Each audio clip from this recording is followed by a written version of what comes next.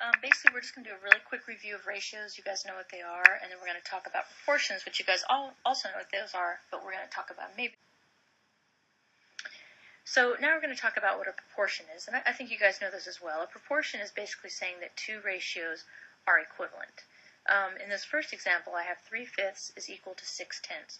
Well, you can say that they're equivalent. Um, one reason because you can simplify 6 tenths into 3 fifths, and because those two are equivalent, you know, 3 fifths is equal to 3 fifths, that means it's proportional. Um, the other way you could do it on this second example is you can go by scale factor. You know that 3 times 3 is equal to 9, and if 5 times 3 is equal to 15, then you're saying that they're proportional as well because the ratios are equivalent. Now, when you have an example like this that has a missing number, this is when you can use your cross products in order to um, figure this out. So what you would do is you would do cross products of 3 times x, so that is 3x, and 5 times 27, which is 135. So then you end up with 3x is equal to 135, and then you just solve your equation. So divided by 3 here, divided by 3 here, and that means x is equal to 45. Okay, and then if you plug that back in, if this is 45, let's say I do 3 fifths is equal to 27 over 45. You know that 3 times 9 is 27, and therefore 5 times 9 is 45. Okay, so basic just solving proportions. All right, so let's go ahead and apply this. This says the measures of three angles of a triangle have a ratio of 2 to 2 to 5. I'm sorry, 2 to 2 to 5. Find each angle measure. So we know that every angle added together, so if we've got the measure of angle 1 plus the measure of angle 2 plus the measure of angle 3 has to be equal to 180, right? Because that's our um, angle sum postulate of a triangle. So all we're going to do is we're going to substitute in the measure of angle 1, the measure of angle 2, and the measure of angle 3. Okay, so we know that 2x is the measure of angle 1 because the ratio is 2. 2x is the measure of angle 2 because the ratio is 2. And 5x is the measure of angle 5 I'm sorry, angle 3 because that's the ratio. And we do that. Um, we add those two together. We get 2x plus 2x plus 5x is 9x is equivalent to 180. Then we solve by dividing each side by 9, and we get x is equal to 20. And we substitute back in to find each angle measure. So 2 times x is 40, 2 times x again is 40, and 5 times x is 100. So therefore, our three angle measures are 40 degrees, 40 degrees, and 100. And we also can see that 40 plus 40 plus 100 equals 180. So we know that that's correct. Okay, so whenever you see a problem like that, just remember that your ratio here is just going to be multiplied by the variable. Okay, so now let's talk about something called means and extremes. Whenever you have a proportion, it looks like this. It's got the um, A over B is equivalent to C over D. Okay, so basically what this means, to use that word again, is this, sorry, these right here are your extremes,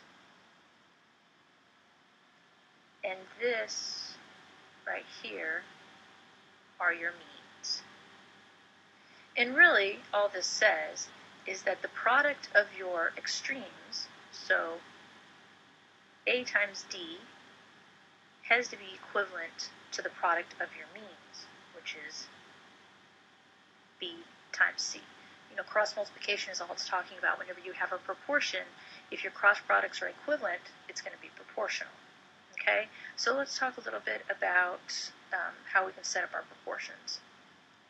So we have this first set of equivalent pr proportions. I have A over B is equal to C over D.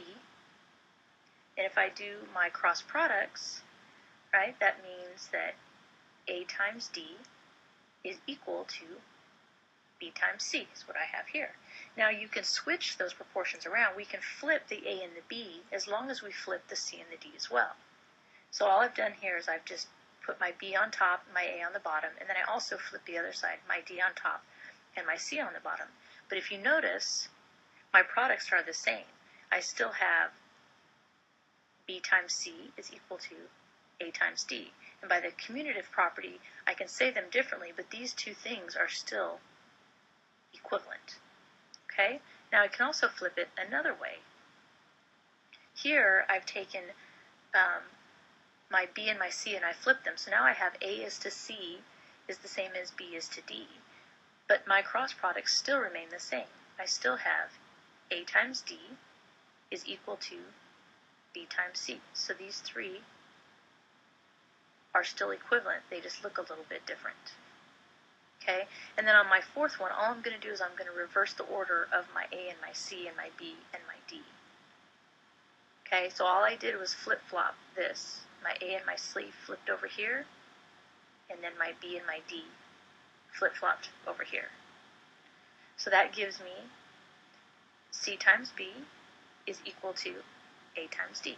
So for all four of these, the product of the extremes is equal to the product of the means. Because basically what I, what I ended up with was A times D is equivalent to B times C for all four of them. And that's just something you guys learned in sixth grade, um, basically, is that your proportion can be set up four different ways as long as your cross products are equivalent. And what that means is that I could set up something differently than you, and as long as our cross products are equivalent, we both set them up correctly. Alright, so let's talk about something else about proportions. And this is something that I just learned that I thought was pretty cool. So basically what it says is that if you have three fractions, three ratios that are equivalent to each other, so basically saying if A over B is equal to C over D is equal to E over F, then that means that the sum of A plus C plus E divided by the sum of B plus D plus F is equal to A over B, which means that you can basically simplify this amount back down to where you started. Okay, so let's go ahead and, and test that out. The easiest way to do it would be three equivalent ratios, so 1 half is equal to 2 fourths, which is also equal to, let's do uh, 7 fourteenths, right? These are all equal to 1 half. So let's test our then statement. So that means that 1 plus 2 plus 7 divided by 2 plus 4 plus 14. So 7 plus 2 plus 1 is 10. And 6 plus 14 is 20. And 10 over 10, 20 simplifies to 1 half. So it's true, 1 half is equal to 1 half. So um, if you want to try a couple and see if it works, you could do a string of four equivalent um, ratios, or you could do a string of eight equivalent ratios, as long as they're all equivalent to each other. If you add all of the numerators together and divide it by all the numerators, you'll come back to the simplest form of those ratios. I thought that was... So we're going to start with doing our cross products. So this is 3 times the quantity, 3x plus 3, which if we use the distributive property, that becomes 3x plus 9. And then we do 2 times the quantity, 2x minus 1, which again, using the distributive property, is 4x minus 2. Okay, then we go ahead and solve our equation for x, so minus 3x on this side. That gives us 9 equals x minus 2. And if we add 2 to each side, we end up with x is equal to 11. Okay, and we can go back in and substitute it in. So we have 11 plus 3 over 2 is equal to 22 minus 1 over 3. So this equals 14 over 2. This equals 21 over 3. And 14 over 2 is equal to 7. 21 over 3 is equal to 7. So we see that that one is correct. Okay? All right. Okay, here's our next example. This one's a little bit different because we are doing, um, going to have a quadratic here. So first one is going to be the x minus 1 times the quantity 3x minus 2. Let's go ahead and do this one over here. So we have x minus 1 multiplied by 3x minus 2. Okay, and if we're multiplying our quadratics, we have x times 3x is 3x squared. Negative 2 times x is negative 2x. Negative 1 times 3x is negative 3x.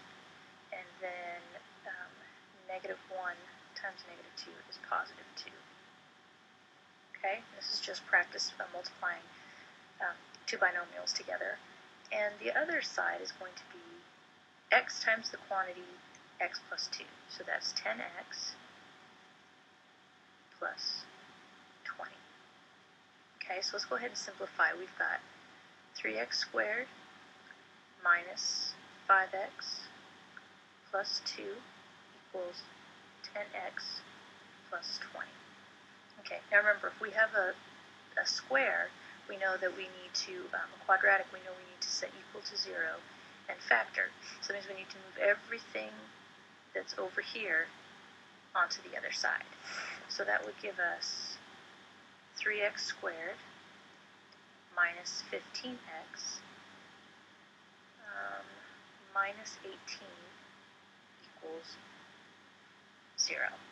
Okay, so now we're going to factor that out. Now, before we start doing it, you also see that each of these shares a factor of 3. So we can divide out a 3 here, a 3 here, and a 3 here. And we'll continue this up here. So that gives me x squared minus 5x minus 6 is equal to 0. So now when we factor this, we get x squared, and what multiplied together gives me negative 6, but added together, together gives me um, negative 5. That would be 6 and 1, so we would have negative 6x plus x minus 6 equals 0.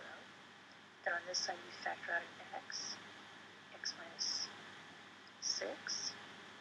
And this one we would factor out a 1, x minus 6. So that means x plus 1 times x minus 6 equals 0. So if we set each of those equal to 0, we know that x has to be equal to negative 1 or positive 6. So again, this is just a lesson in factoring, okay? Um, so basically, we're just using our basic skills of setting up and solving proportions to um, set up and solve it that way. Alright, so one more example. This is a word problem. It says a twin jet engine has a length of 78 meters and a wingspan of 90 meters. A toy model is made in proportions to the real airplane. If the wingspan of the toy is 36 centimeters, find the length of the toy. So first thing you want to make sure you do is that you're setting up your word proportion correctly.